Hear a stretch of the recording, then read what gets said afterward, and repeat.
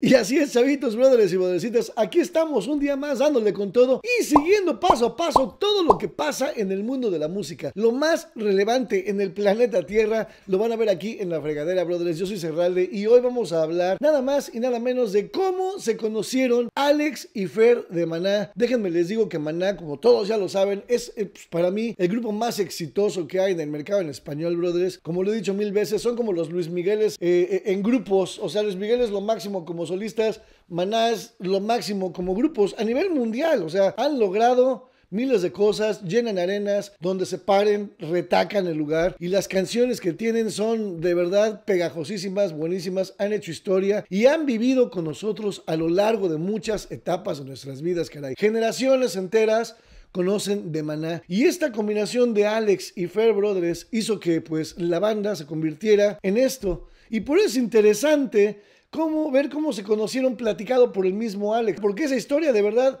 yo no me la sé. Vamos a escucharla, brother. Bueno, esa es una historia muy interesante. Mira, yo nací en Miami, este, madre cubana, papá colombiano. ¿Cómo se llaman tus papás? Rita y Franklin. Pues imagínense, papá colombiano y mamá cubana, brothers. O sea, sangre caribeña del Alex y el ritmo, pues por eso tiene el ritmo de baterista que tiene. O sea, es un ritmazo y es considerado uno de los mejores bateristas del mundo. No nada más de México, sino del mundo. Es habilidosísimo para la, para la batería y no nada más toca, también da show y eso lo he dicho siempre. Es una de las características de Alex y pues de Maná, que su baterista, aparte de que canta y hace coros, toca y aparte da show, se para, hace solos de 20 minutos, hace cosas increíbles, literalmente. Está cañón, Alex. Por ahí, por el 81, lamentablemente mis papás se divorcian. Eh, entonces, por el 82, mi mamá se vuelve a casar mi padre es un doctor mexicano, aquí de la, de, la Ciudad de México. Entonces sale esta propuesta de mudarme de Miami y venirme para, para México. Entonces era... ¿A la Ciudad de México? A la Ciudad de México. Okay. Llegué a vivir en satélite. Ah, vecinos. Bueno, entonces llego yo en el 83 a satélite. Al norte de la Ciudad de México, pero satélite, dependiendo del área, era una zona bonita. Yo me acuerdo, yo viví, yo soy de la Ciudad de México, llevo ya acá en Estados Unidos más de 20 años, pero en satélite, pues era una zona padre. Pero imagínense el shock cultural que tuvo al moverse de Miami, que pues por muy retrasado que esté en el tiempo Miami, pues siempre era parte del primer mundo, como los Estados Unidos, ¿no? Y luego llegar a la Ciudad de México, una ciudad llena de carros, llena de contaminación. Digo, la comida es deliciosa y la gente es linda, pero no podemos negar que pues en, ese tiempo, en los 80s, México estaba lleno de contaminación y tuvieron que tomar medidas muy fuertes los los políticos de México para aliviar esa contaminación que había en esos tiempos, caray. Y me acuerdo que fue un, un, un, un shock cultural, pero en el buen sentido, porque te tienes que regresar a Miami en los 80s, o sea, 83, no es lo que es ahora, o lo que ni era hace 20 años ni nada. Yo me acuerdo llegando en el avión y empezar a ver esa nata de contaminación y la jungla de concreto. Yo nunca había visto una ciudad tan contaminada. Lo que pasa es que el, lugar donde construyeron nuestros antepasados, la Ciudad de México, es un lugar que no permite que el aire se mueva. ¿Por qué? Porque para empezar, la Ciudad de México está construida en un valle, en, un valle muy alto y entre montañas. Es un valle entre montañas y, está a una altitud de 2.400 metros sobre el nivel del mar. Es una de las ciudades más altas del mundo. O sea, mucha altitud. Y entonces como está rodeado de montañas, de por sí está alto y está rodeado de montañas, el aire no tiene circulación. Entonces con la contaminación de los carros y todo eso, pues se crea una contaminación que no sale. Entonces ese es el problema que tiene la Ciudad de México, o tenía, no sé ahora, pero pues en los 80s de segurito ese era el problema. Y estaba muy cañón, pobrecito. Entonces yo tenía 14 años y llegué a la Ciudad de México, pero ¿qué pasó?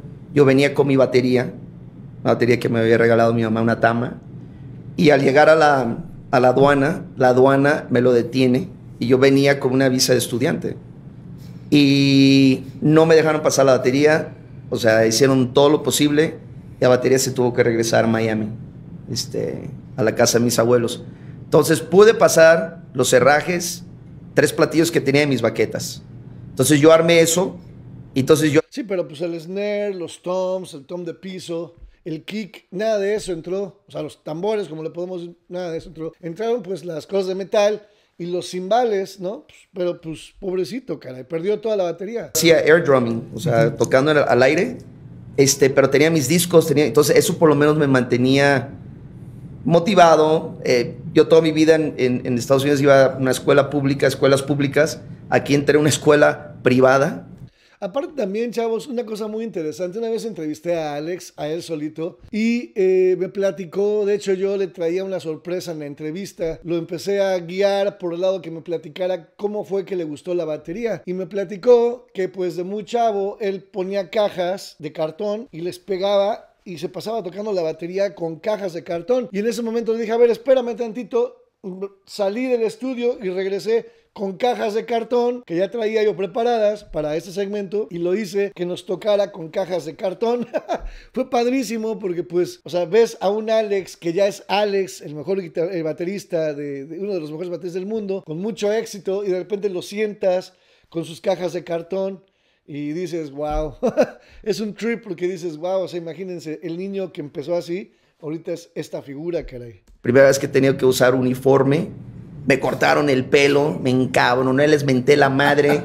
Este, entonces fueron muchas cosas que fueron cambios medios drásticos, ¿no?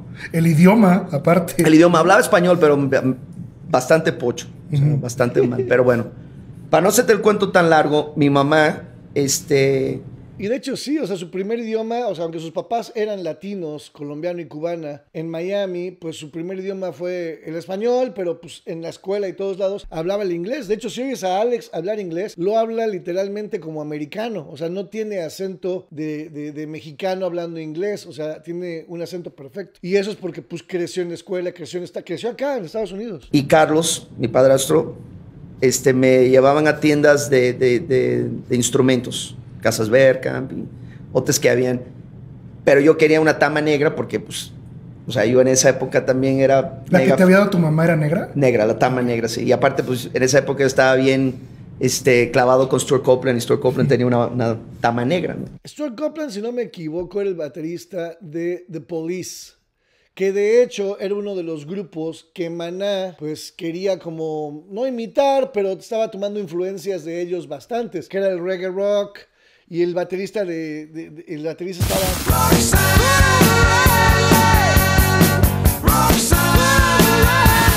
cañón, brother, es uno de los mejores bateristas y Alex le gustaba a él, entonces fíjense cómo ya desde ahí ya va más o menos todo girando alrededor de lo que Maná quería de baterista. Bien buena onda que diferentes marcas, no, yo tama, tama, ok.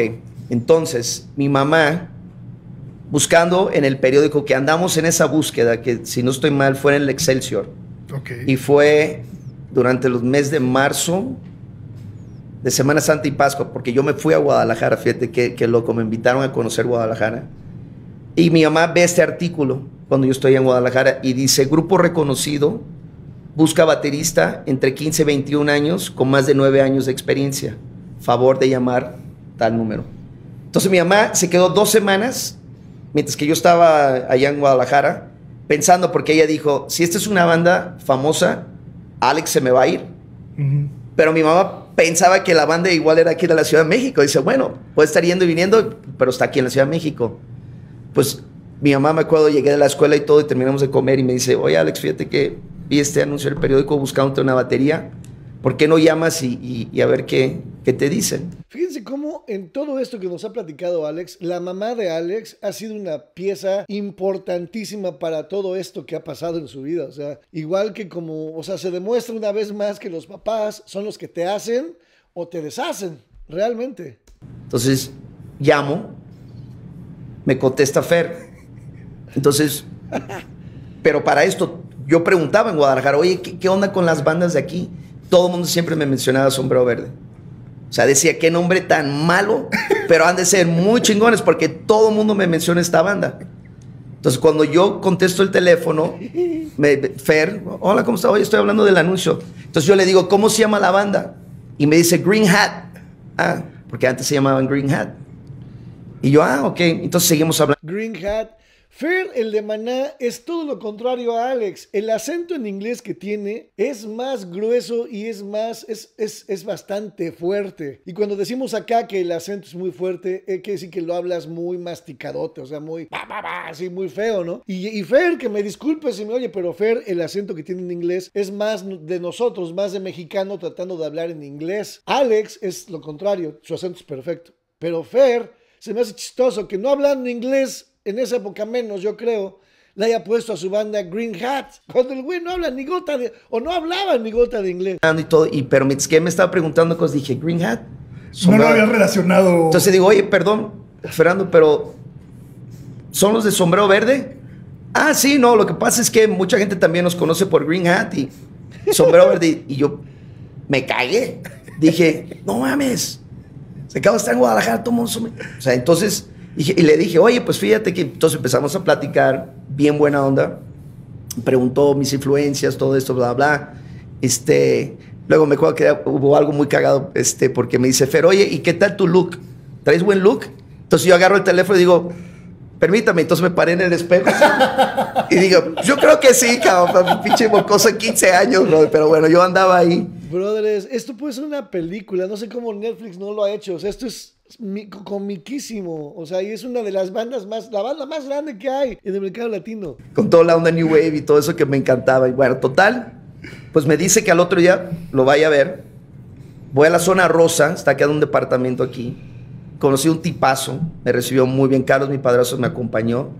Y, y Otra pieza muy importante también, Carlos el padrastro, o sea, un padrastro que de verdad obviamente amaba a la mamá de Alex, se casa con ella y luego ayuda, o sea, para poner, para poner a un hijo que es, que no es tuyo, es el hijo de tu esposa, de la mujer de la que te enamoraste, en una escuela privada en México que es caro, debes tener bastante lana y luego también que no nada más, pues sea proveedor económico, sino que también sea parte de la vida del niño, ¿no? Que pues es un adolescente en esa época, hijo de la señora de la que te enamoraste. Entonces, qué padre que fue y lo acompañó y se aseguró que no era nada raro, porque pueden pasar muchas cosas.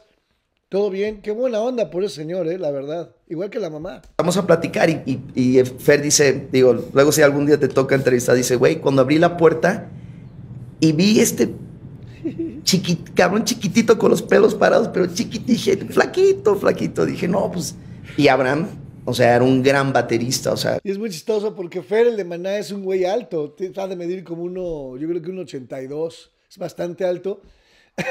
y Alex, todo lo contrario, igual. Debe medir como, pues yo creo que unos 55, unos 60, lo mucho, ¿no? Eso es chaparrito. Entonces imagínense a los 15 años, yo creo que todavía era más chaparrito y obviamente flaquitito porque estaba, estaba niño, un mocoso. Entonces, imagínenselo, o sea, Fer abre la puerta alto, ya mucho más grande porque en edad, yo creo que Fer le saca a Alex como unos 10 años.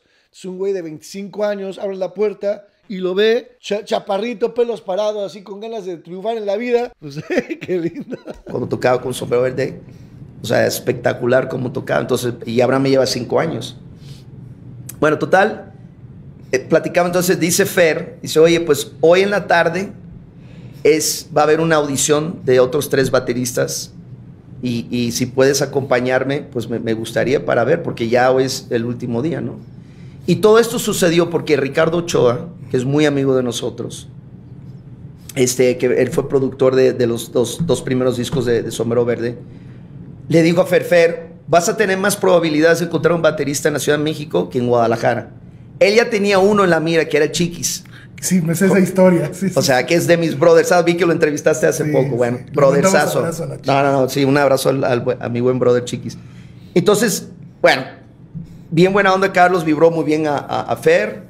Vio que no era ningún freak ni, ni nada así raro. Dijo, ok, bueno, este, Alex se puede quedar contigo ya. Y lo chido es que la audición iba a ser en el estudio de los Babies ahí en Naucalpan. Ah, Tenía- en, en Bulevares. Exactamente, enfrente, digo, eso ha de haber cambiado, pero imagínate, fue en el 84, brother. Sí, sí, sí. Entonces me acuerdo que era una bodega enfrente del estudio, que ahí estaban ensayando con Victorino, ¿te acuerdas de Victorino? claro, por supuesto. O sea que, Es chistoso que menciona a Vitorino porque Vitorino era un cantante, con todo respeto, gordo, que tocaba la guitarra y cantaba. Y estaban hablando de que Vitorino ensayaba y Vitorino daba shows. Y yo me acuerdo que yo llegué a ir a casa de un tío en la Ciudad de México a los 8, siete años, una cosa así. Y Vitorino llegaba a la casa de mi tío y se ponía a cantar en las fiestas el güey. Y yo pues lo veía y decía, ah, pues que canta bien el güey. Pero yo no sabía que Vitorino era famoso en ese tiempo y, y sí era. es más, lo está mencionando Alex, está cañón. Entramos ahí, estaba este eh, Ricardo Ochoa, René en el bajo y Víctor en la batería. O sea, la banda original de Kenny y los Electrics. Y luego se cambiaron a Kenny y los Eléctricos. Entonces habían otros tres bateristas ahí. Me acuerdo que había uno que se llamaba Shilinsky, que era de una banda que él había tocado, que ya lo sacaron y metieron a Abraham a esa banda. Entonces él fue ahí pensando que iban a hacer como el intercambio. Y Fe le dijo, brother, perdóname, pero ni te voy a escuchar. Yo ya te he visto tocar y no eres para esta banda. Y yo dije, no mames, cabrón. Y Fer es bien directo así, brothers. Es muy, muy directo. Y siempre, eso es algo que yo la verdad le admiro a Fer. Siempre ha sabido lo que quiere. O sea, siempre ha sabido para dónde va, qué dirección quiere de su grupo. Él siempre, aunque le costó uno y la mitad del otro, sabía que tenía que irse por esa línea y se fue. Fer es una persona, la verdad, mis respetos, fuerte de acá y sabe lo que quiere. Está- aquí la cosa va en serio, güey. Entonces Sí, ya, sea, o sea, Fer Fernando muy, era- Fer muy, muy, muy, o sea, muy educado, y muy, pero como diciendo, brother, no vamos a hacer intercambio que bateristas, o sea. Claro. O sea, Fer sabía que él quería a un baterista nuevo. Vibra nueva, sangre nueva. Y eso es muy bueno, porque si no, pues, ah, mira, el baterista de acá se pasó para allá y no, no, no. Era eh, algo nuevo. Yo quiero a alguien nuevo. Entonces, bueno. Entonces, tocan la rola, era como un blues, medio rock and roll. Y era escuchar una vez y tocarla. Entonces me dice Fer, ¿quieres ser tú el primero? Y dije, no, yo quiero ser el último. Porque habían dos chavos más. Dije, así yo oigo más la rola y yo veo también la, como la reacción. Entonces llegó el primer chavo, tocó. Nada tonto el chavito, estaba listo el Alex. Siempre, o sea, de- cuando alguien ya es listo desde chiquito ya te ves pila. Te con un cigarro en la boca, así medio más progresivo. Y dije, bueno, puedo ser mejor que ese chavo. O sea, creo que Y de edad eran más grandes que tú. todos supongo, eran más sí, grandes. claro. Luego llegó otro también, o sea, como muy, muy heavy metalero. También todos tocaban bien, pero como que no, como que faltaba algo. Entonces ya me dice Fer, órale, súbete. Entonces ya yo me subo y yo empiezo a tocar. Entonces, pero yo le echaba energía, le echaba, o sea, como que no, es- este, o sea, estático ahí, o sea, le, le echaba feeling, pues. Que es lo que les digo, Alex no nada más toca la batería increíble, le echa ganas, le echa feeling, es un showman. Y se paran en, el banquito de la batería y le pega y brinca y hace sus malabareos con las batacas y le sigue pegando. O sea, el tipo es, es un baterista excepcional, brothers. Tiene todo, aparte canta, compone, no, hombre. Entonces me acuerdo muy bien que ya íbamos como más de la mitad de la rola y Ricardo Ochoa voltea y yo veo que voltea con Fer y le hace así como... Y ya ahí me dio como mucha confianza como diciendo, ok. Entonces ya terminamos. ¡Pra! Ey, todo el mundo muy bien, Yo me sentí muy bien. Entonces dice Fer, hey, muy bien, muy bien. Fer sentado enfrente en un case, o sea, viéndome. Aparte, la batería era gigantesca, brother. O sea, yo era un mocoso. O sea, yo apenas como podía agarrar los toms. Y... Entonces Fer dice, oye, ¿y, este, y, y qué otro... ¿Qué otra música quieres tocar? Y digo, no, pues podemos improvisar lo que quieran. ¿Quieren reggae? Ah, pues. Entonces empezó Ricardo Ochoa un riff de reggae. Y yo empecé a entrar ahí con el reggae. Entró René. Órale, cabrón. Entonces, ¿qué algo funky? Ah, funky. Va. Entonces, como que iban tirando y yo ahí, pues me defendía. Entonces, fíjate, volviendo. Pues es que es obvio, brothers. Imagínense el reggae siendo caribeño. ¿De dónde viene Alex? Su mamá cubana, el papá colombiano. Obviamente traía ese ritmo de playa, de, de- reggae, de- de ambiente, tranquilísimo. Y a Fer, que le encanta ese ritmo porque es para donde iban, de volada lo contrató. Y ahí empezó la unión. Así que Batman y Robin, brothers. Fer y Alex, los dos pilares de Maná Brothers, así se conocieron. Increíble historia que la verdad quería compartir con ustedes. Yo no la había oído nunca, a pesar de que conozco a Maná desde los 90. Estuve, ya les enseñé una foto el otro día donde estuve dentro del estudio de Sueños Líquidos, que lo hicieron en el 97. Ahí estuve metido yo. ¿Cómo? Luego les platico esa historia, pero siempre han sido parte de, de- nosotros, caray. Y la verdad era importante que viéramos esto. Platíquenme qué piensan, qué les pareció, brothers y brothercitas. Maná, una historia de verdad increíble, brothers. Y aquí se platican solo ese tipo de historias y se analizan y se reaccionan y se disfrutan y se comparten a sus artistas favoritos. Yo soy Serral de Brothers, los amo.